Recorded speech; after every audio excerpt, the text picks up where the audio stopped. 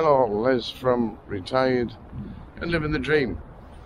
I'm on my way back home now to Thailand. Here we are at the beach as the sun goes down, eating our meal, having a beer. After spending almost nine weeks here. Now, some people have mentioned that I've not made any vlogs for a couple of weeks. Well, again, I've been ill again. Just recovering from two weeks of tonsillitis and the flu. And as you can still, my voice today is not very good. Oh, I've had a, a rough time these past two weeks. So anyway, I'm in Newcastle now. On my way home. Now why am I in Newcastle? Because it's cheaper than catching a taxi. If I caught a taxi from Redcar to to Newcastle Airport, it was 65 quid. Well, there's my hotel up there, which is the Travelodge on the quayside. And I thought I'll come down for a look at Newcastle before I go back home tomorrow. So my hotel cost £29 for the cost of the train to get here was £5 and for uh, as much as I want to eat for breakfast tomorrow, nine quid. So as you can see, I'm much cheaper than the 65 quid it would have cost just for the taxi fare here. And I'm still on a bit of a holiday as well, so that's why I wanted to come down here.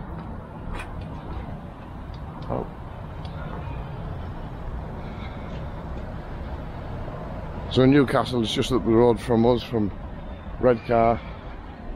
I've had some many, many, many good nights out here.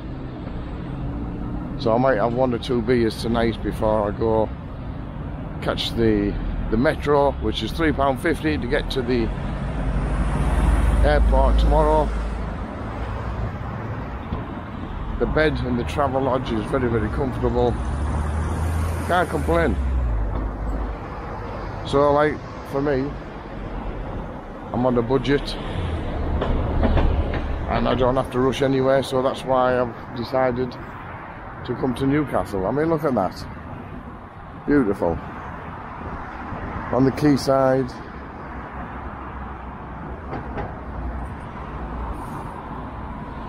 very very beautiful. So that's my trip to England. Over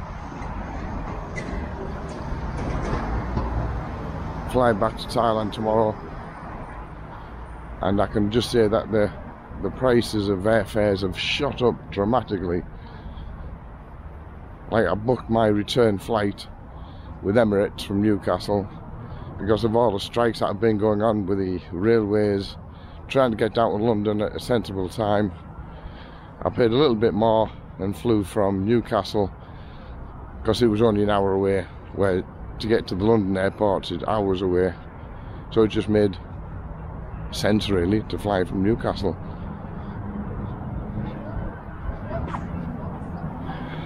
But again, as you can see, it's still bloody cold. And I've lost my voice. Would I have liked to gone back earlier? Yes, I would. I stayed here for the nine weeks for my sister, for the birthday, for the Christmas and New Year totally missed New Year because I was ill. And this is the first time I've been out in two weeks. What a place to come out. Newcastle.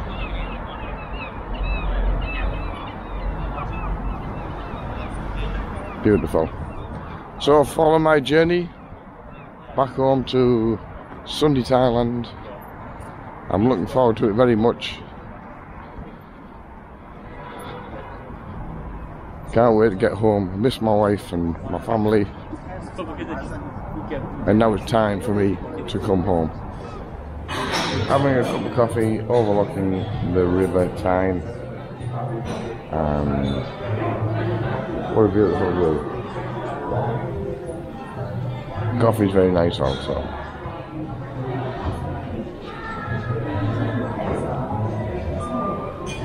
Must be 20 years ago since I was in Newcastle. It's beautiful. The northeast people are some of the friendliest people in the whole of England, and Newcastle has got a good reputation for nightlife, entertainment. Oh, look at this. This is for my friend Mark, Geordie, Geordie boy. So I said to him I'd do a little video in the Toon. I hope you don't miss it too much, Mark. Found the Wetherspoons in, on the quayside in Newcastle, and I've got a pint of Worthingtons £1.69 for a pint of Worthington. So this is my last beer in Newcastle. Until the next time, Newcastle, pint of Worthington. So until the next time, Newcastle, well done. Wetherspoons are everywhere.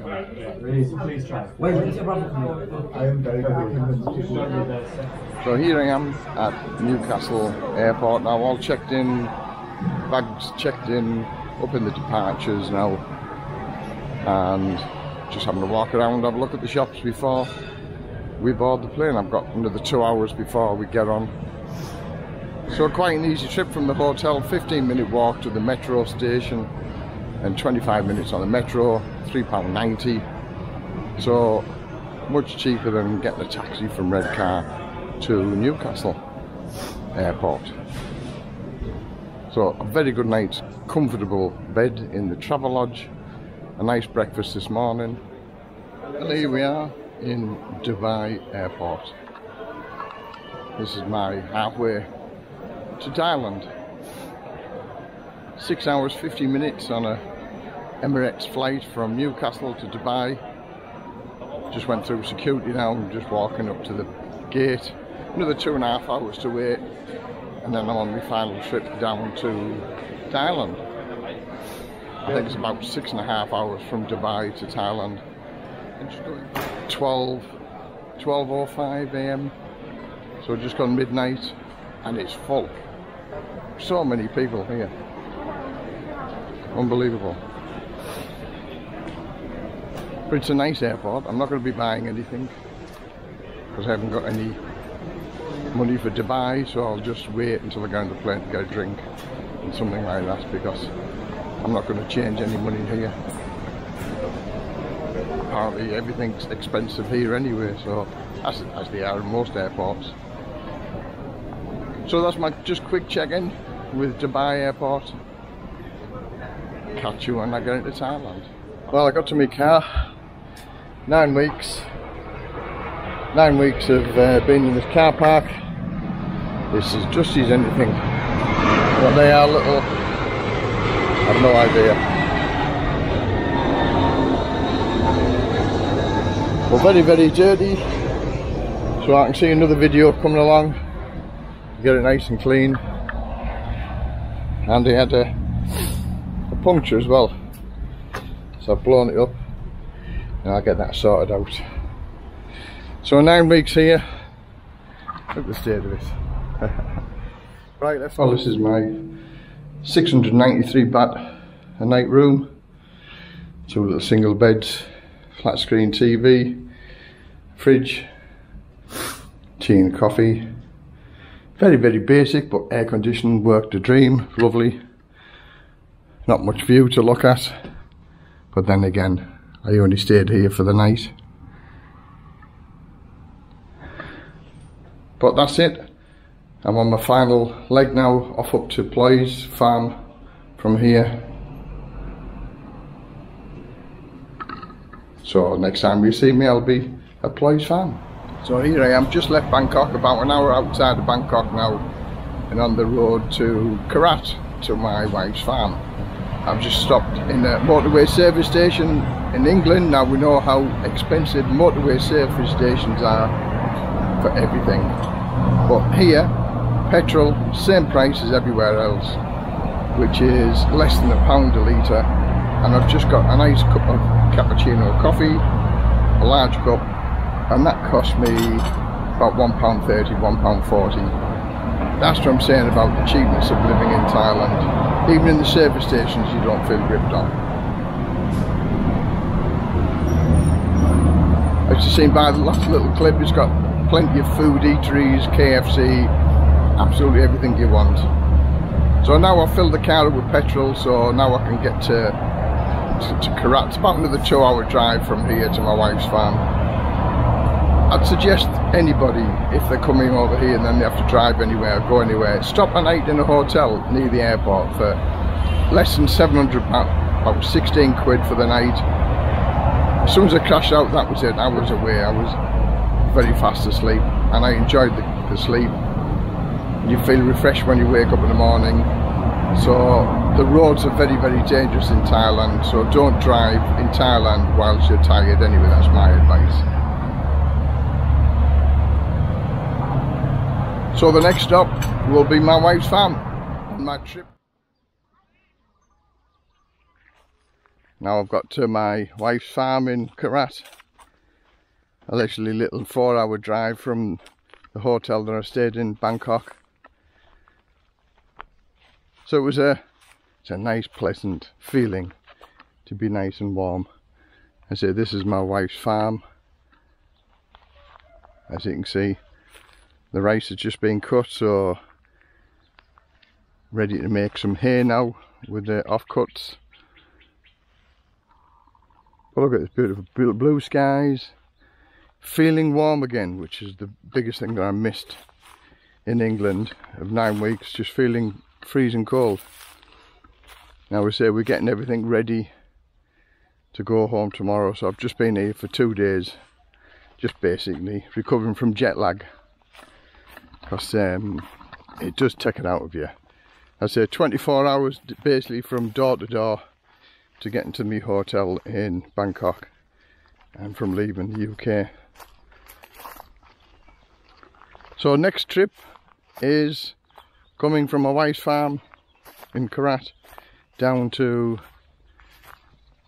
Rayong and um, some garden work to do in there I'm sure as it's been not touched for nine weeks. So looking forward to get home but just the feeling of being warm. Is a wonderful feeling. My tonsillitis has gone now.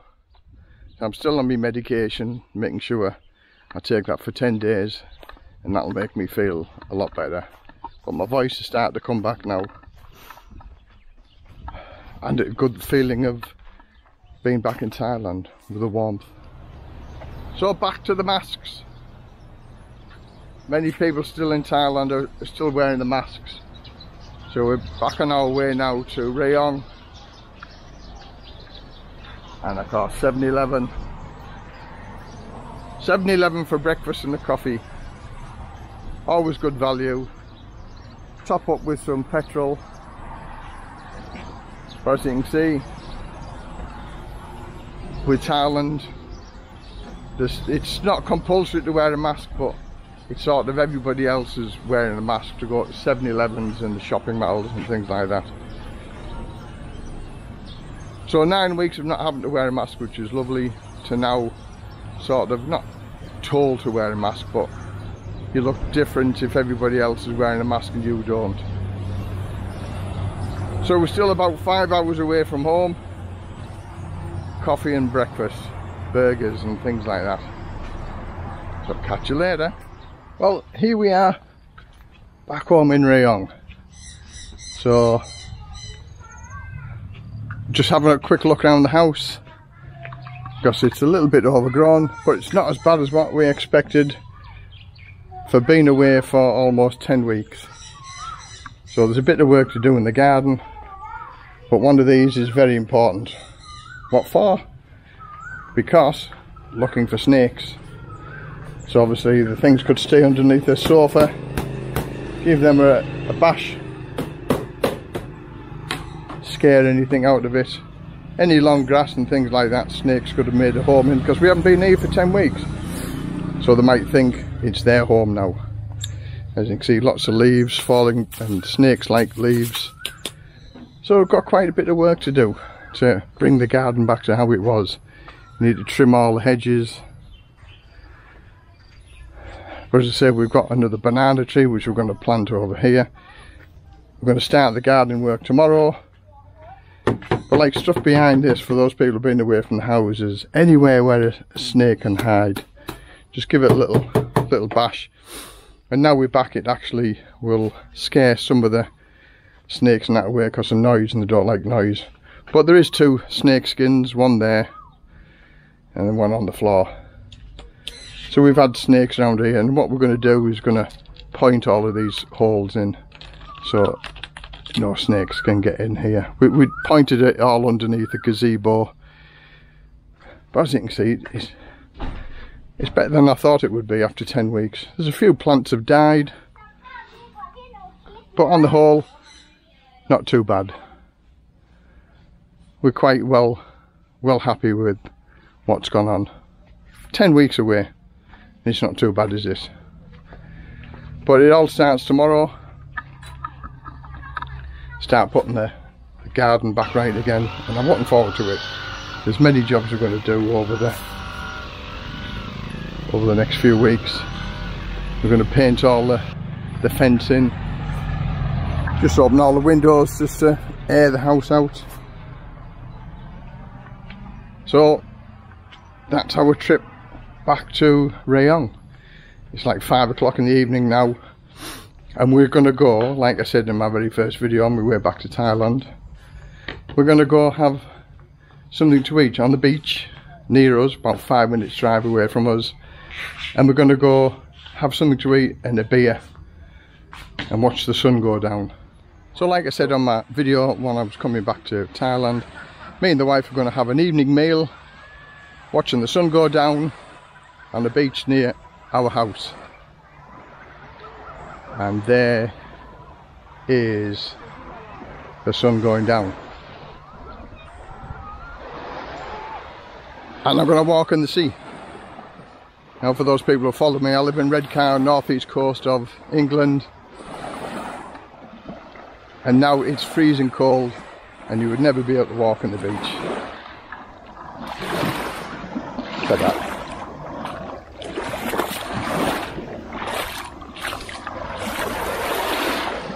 nice and warm. This is the beach near where we live. Look at it, beautiful. Watching the sun go down. Gonna have some Thai food. What more could he ask for? So I'm going to do many vlogs again about living in in Thailand and um, the benefits and the costs. I'm going to do a breakdown of the costs of me going to, to England for the nine weeks. So we're going to have some food. Look at this. Beautiful. Absolutely beautiful. And there's the Three Tree Beach that we stay at. Lovely. Look at that. That's Koh Samet, our local island where it's got one of the top 10 whitest beaches in the world. And this is just the Bay of Rayong and it comes down here. Beautiful.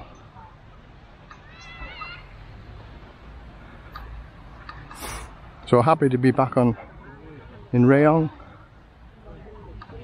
I'm going to have now some food. Say hi, Ploy here we are at the beach. As the sun goes down eating our meal having a beer. So welcome back to Thailand retired and living the dream.